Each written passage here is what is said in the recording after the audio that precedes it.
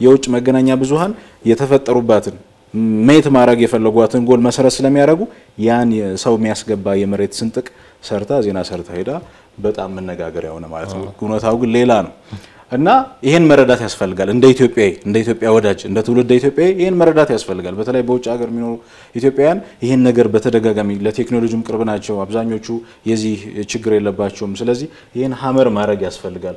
የውጭ መገናኛ ብዙኃን ስለዘገቡት እውነታው ወጥቷል ማለት አለመሆኑን በዜጋም በመንግስት ደረጃም እንደዚህ ማስገንዘብ ይገባናል ብዬ አስባለሁ። ተጽዕኗቸው ከባድ ስለሆነ በዛው ደረጃ ነው። በተለይም እነዚህ ዓለም አቀፍ መገናኛ ብዙኃን የሚያቀርቡት ነገር ሁሉ በብዙዎች ዘንድ ተቀባይነት ስለሚኖረው ነው ተጽዕኖ። ነገር ግን የትላንቱን ጉዳይ እያነሳን ነበር። ከአንድ መቶ በላይ የዓለም የምግብ ፕሮግራም ተሽከርካሪዎች እንግዲህ ሰብአዊ እርዳታን ይዘው ከ3500 ሜትሪክ ቶን በላይ ሰብአዊ እርዳታን ይዘው ወደ ክልሉ ወደ ትግራይ ክልል ገብተዋል። ነገር ግን የትኛው ዓለም አቀፍ መገናኛ ብዙኃን ነው ይህንን ሲዘግብ የነበረው?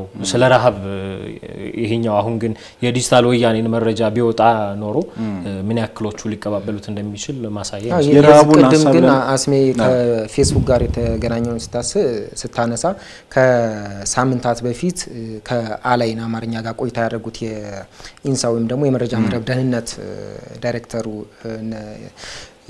ሹመቴ ግዛው ያነሱት ሀሳብ ነበር። በተለይ እነዚህ ዓለም አቀፍ ተቋማት እጀ ረጅም ስለሆኑ ኢትዮጵያዊነትን የሚያቀነቅኑ ወይም ደግሞ የኢትዮጵያን እውነት ይዘው በፌስቡክና ሌሎች የማህበራዊ ትስስር የሚወጡ ሰዎችን block እያደረጉ ስለሆነ ኢትዮጵያ የራሷን የ social media platform እያሰበችበት ነው። በቅርቡ ወደ ሙከራ ላይ ያሉ አሉ። በኤጀንሲው ግን በቅርቡ ለሕዝብ ይፋ እንደሚደረጉ ፌስቡክን፣ ትዊተርን፣ ሌሎችንም ሊተኩ የሚችሉ የመገናኛ ዘዴዎችን እዚሁ ኢትዮጵያውያን ባለሙያዎች እያዘጋጇቸውና በጥሩ ሂደት ላይ እንደሆኑ ሲያነሱ ነበር። ሳሙኤል ግን አንድ ብናነሳው እነ ጄፍ ፒርስን ማንሳት እንችላለን። የምንወቅሳቸውን ያክል ዓለም አቀፍ መገናኛ ብዙኃን ግን ደግሞ በግላቸው ጥረት እያደረጉ የኢትዮጵያን እውነት እና የአሸባሪውን የህወሀት ቡድን የለየለት ውንብድናና ውሸት የሚያጋልጡ አሉ። የማይካድራውን ሀሳብ እንትን ጉዳይ ስናነሳ ጄፍ ፒርስን ማንሳት እንችላለን። አሁን ወደ ወሎ አካባቢ እንዲሁ ሄደው ተመሳሳይ አይነት የምርመራ ዘገባን እየሰሩ እንደሆነ የታሪክ ጸሐፊ ናቸው፣ ጋዜጠኛ ናቸው፣ ተመራማሪ ናቸው ሰውየው እና እንዲህ አይነት ሰዎችንስ የኢትዮጵያ መንግስት መደገፍ የለበትም ወይ? መረጃዎች እንዲያገኙ አንዱ ክፍተት ብዬ የማስበው ዓለም አቀፍ መገናኛ ብዙኃን ወደ በአንድ የስልክ ጥሪ እንድታስተናግዳቸው ይፈልጋሉ። አማራ ክልል ያሉ ባለስልጣኖች ወይም ደግሞ የፌዴራሉ መንግስት ላይ ያሉ ባለስልጣኖች መረጃውን በመስጠት የሚጎዱት ላይኖር ይችላል። ግን እነዛን መገናኛ ብዙኃን ጠልታቸው ፊትህን ስታዞርባቸውም ደግሞ ሚዛናዊ የሆነ መረጃ አይሰጡም መረጃ ብንሰጣቸውም ብለህ ታስብና ፊትህን ስታዞርባቸው የበለጠ ለነሱ የኢትዮጵያ መንግስት መረጃ እንዲሰጥ ያደረግነው ጥረት አልተሳካ የሚሉና የራሳቸውን ያሰቡትን አጀንዳ የበለጠ የማራገብ እድል ስለሚኖራቸው ከኢትዮጵያ ጎን የሚሰሩ ተቋማትን መደገፍ በግልም በመንግስትም መዋቅር መረጃን እንዲያዛቡ ወይም ደግሞ እውነትን አዛብተው እንዲያቀርቡት ሳይሆን እውነታውን ያለውን እውነታ በደንብ እንዲያወጡት ከማድረግ አንጻር ምን መሰራት አለበት ትላል?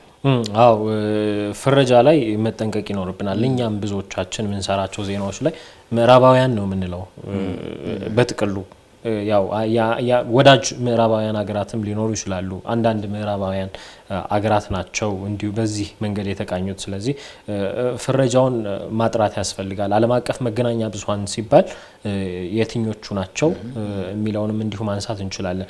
እንደ ጄፍ ፒርስ፣ ፕሮፌሰር አን ፊትዝ ጄራልድን እዚህ ጋር ማንሳት እንችላለን።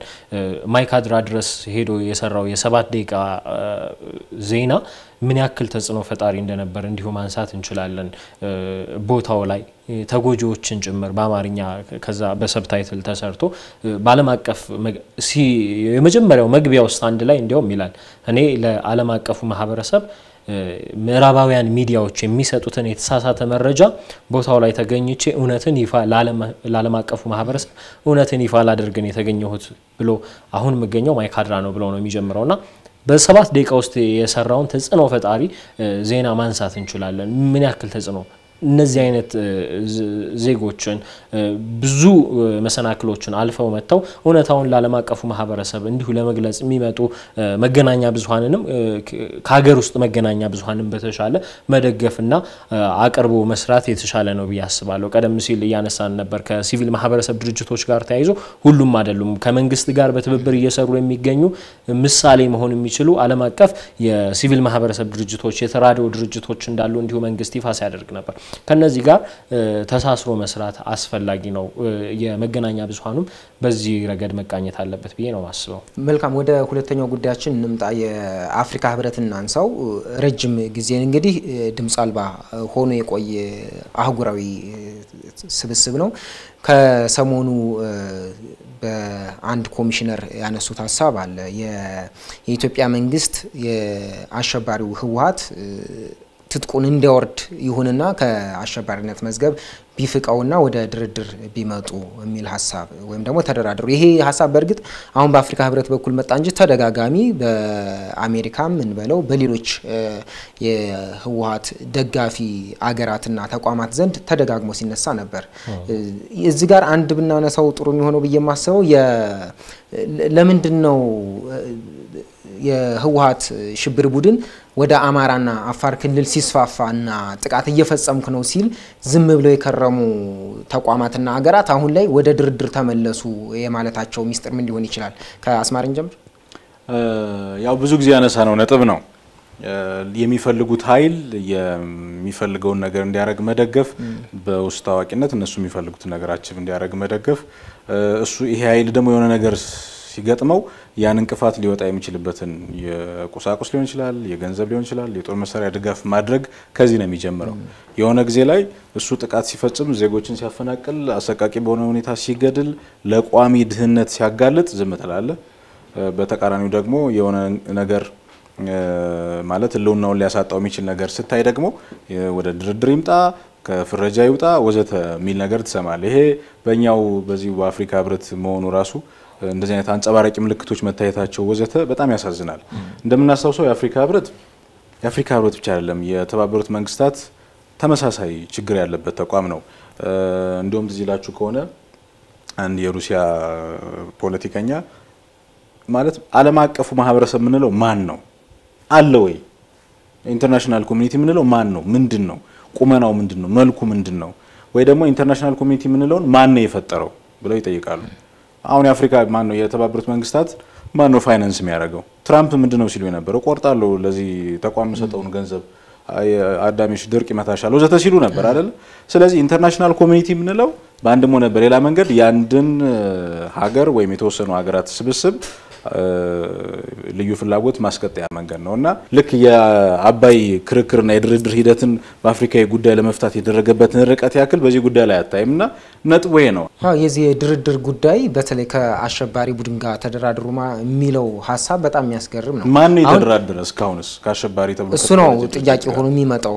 በዋናነት ደግሞ ከምዕራባውያን ወይም ደግሞ ቅድም ስናነሳቸው የነበሩት አንዳንድ ምዕራባውያን ሀገራት ኢትዮጵያ ላይ የራሳቸውን ጥቅም ማስከበር የሚፈልጉ ሀገራትና ተቋማት የሚያነሱት የተደራደሩ ጥያቄ ብዙ ላይ ገርምህ ይችላል። ግን በአፍሪካ ህብረት በኩል መምጣቱ አህጉሩን የሰላም 2063 ላይ የአፍሪካ በርካታ የብልጽግና ግቦችን ያስቀመጠ ህብረት ነው።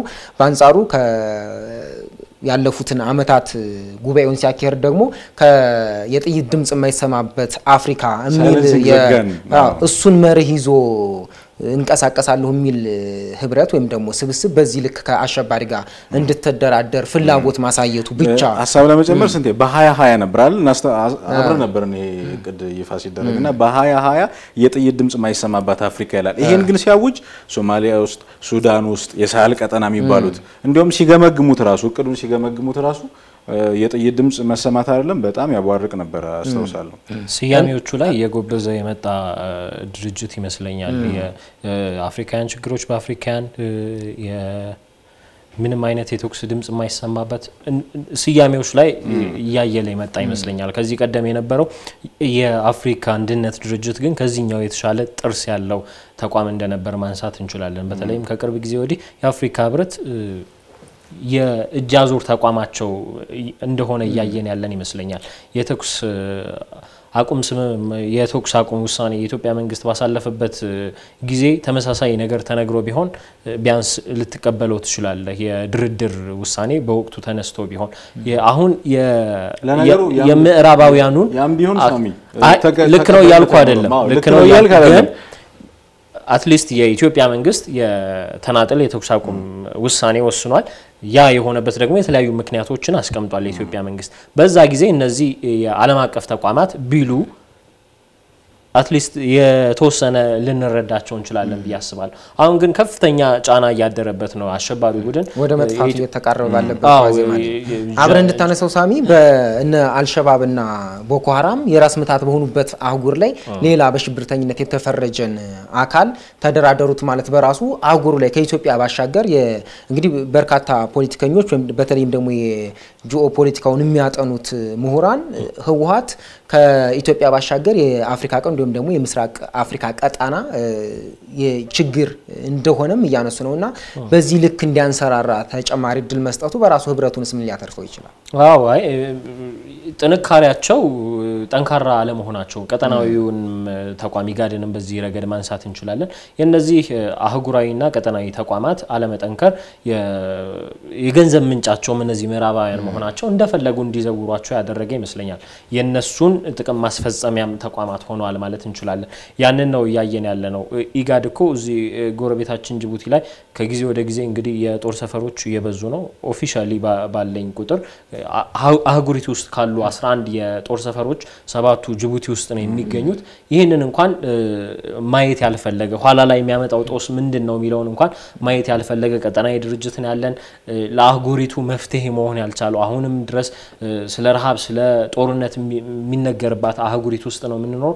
ለዚህ እንኳን ያልቆመ አህጉራዊ ድርጅት የአፍሪካ ህብረት ያለን ዜጎች ነን። አሁን በዚህኛው ሰዓት እንግዲህ ስለ ድርድር ማውራት የአስፈጻሚዎቹን ማንነት ጠንቅቀን እንድናቅ ያደረገ ይመስለኛል። ተቀባይነትም የለውም። ከአሸባሪ ቡድን ጋር ድርድር ያደረገ ሀገር እኛ አናቅም።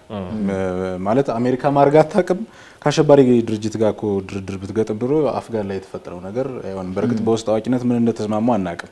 የአሜሪካ ጦር በዚህ ደረጃ ፈርጥጦ የሄደበት ምክንያት ራሷም የፈጠረቻቸው የሽብር ቡድኖች ስለሆኑ በትክክል በትክክል ግን ግራም ነፈሰ ቀኝ አሸባሪ ተብሎ ተፈርጇል። ይሄ በትልቁ የስልጣን ባለቤት በሆነው በህዝብ ተወካዮች ምክር ቤት ተፈርጇል። አሸባሪ ተብሏል።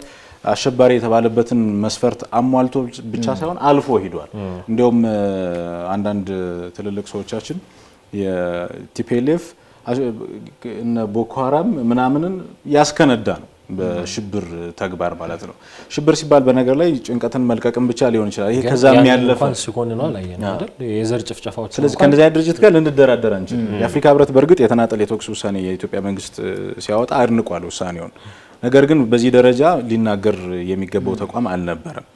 ስለዚህ ልንደራደር አንችልም። ይሄ በዚህ አሸባሪ ድርጅት ላይ የምናገኘውን ድል ለመጎተት የሚደረግ ጥረት ነው። በሌላ መንገድ እኮ ተደራድሮ ማለት እውቅና መስጠት ማለት ነው። ካለበት አሁን ሁለንተናዊ ጥቃት እናውጣው ማለት ነው። ስለዚህ ይሄ ሊሆን አይችልም። ሊሆን የሚገባው ግን መኮነን፣ ይህን ድርጅት መኮነን፣ በተቋም ደረጃ ማውገዝ አፍሪካውያን ልክ ሳሚ ቅድም ሲጠቅስ እንደነበረው በአፍሪካ አንድነት ድርጅት ጊዜ ነጻነትን እንዳቀነቀኑት በአንድነት በህብረት እና እንደተቀዳጁት ጭምር። እርግጥ ተቀዳጁት የሚለው ነገር ያስቸግራል። ምክንያቱም አሁንም 14 ሀገራት ለፈረንሳይ በጊዜው በቀኝ ግዛት ዘመን ለገነባቻቸው መሰረተ ልማቶች ይከፍላሉ።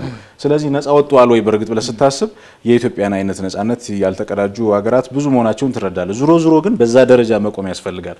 ልክ ኢኳስ የሚያደርጋቸውን ውሳኔዎች አይነት ወታደር ሁሉ እስከ መላክ ድረስ ገብቷል አይደል? ወታደር ልከው እስከ ማረጋጋት ተጨማሪ ጉዳት እስከ መቀነስ ድረስ የሚሄዱ ቀጠናዊ ድርጅቶችን ታፈራለህ፣ ትፈጥራለህ፣ ታጠናክራለህ። ከእውነት ጎን የቆመውን ከህዝብ ጎን የቆመውን መንግስት ትደግፋለህ እንጂ ተደራደሩ የምትልበት አይነት ተቋም አይደለም እና ይሄ በጣም የሚያስተቻቸው ነው። እነሱም ያውቁታል። በእርግጥ መንግስት አሁን ወደ ማጠቃለያው እንምጣና ሳሚ ቀጠናዊ- እንድታነሳው እድል ስጥ ኢትዮጵያ ተደጋጋሚ የምታነሳው አለ በአፍሪካ ጉዳይ ላይ ትብብርን፣ አንድነትን መመስረት አለብን። ከምንም በላይ ግን የአፍሪካ የፖሊሲ ነጻነት መከበር አለበት የሚል ሀሳብን በትልቁ ስታነሳ እየሰማናት ነው። በተለይ ጠቅላይ ሚኒስትር አብይ አህመድ ወደ ስልጣን ከመጡ በኋላ ያንን ጥረት ሲያደርጉ እናያለን። እ፣ ከእሱ እንዳለ ሆኖ ከሰሞኑ እንግዲህ ባለፈው ስናነሳው ቅድም ስናነሳው ነበር ሳማንታ ፓወር ወደ ኢትዮጵያ ሊመጡ ሰሞን የዛ በሱዳን በኩል የነበረው የ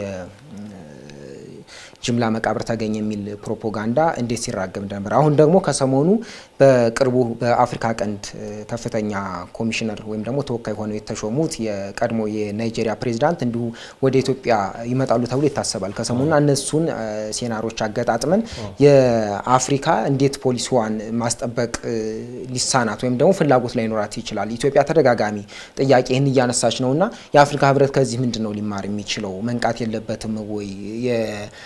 ባለፈው ያነሳ ነውን አለ የዚህ በበጀት ራሱን አለመቻሉ እንዲዘወር በትንሹ መጠኑ ሊለያይ ይችላል። እንዲዘወር ብቻ እየሆነ ነው ግን አሁን ላይ እንዲህ አይነት አማራጮችን በራስ አቅም የመቆምን ነገር እንዴት ሊመጣ ይችላል የሚለውን አንስተን እናጠቃለን። የሀገራቱ ጥንካሬ ወሳኝ ይመስለኛል። ለዚህ ኢትዮጵያ እነዚህ ተቋሞች የኢጋድን መዳከም፣ የአፍሪካ ህብረትን እንዲሁ መዳከም ተመልክታ ይመስለኛል።